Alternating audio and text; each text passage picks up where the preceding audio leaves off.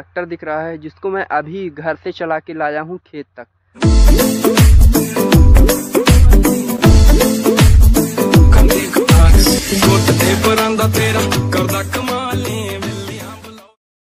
Hello everyone कैसे आप लोग? आए हो सभी लोग अच्छे होंगे। तो स्वागत है आपका फिर, मेरे फिर से एक न्यू ब्लॉग में।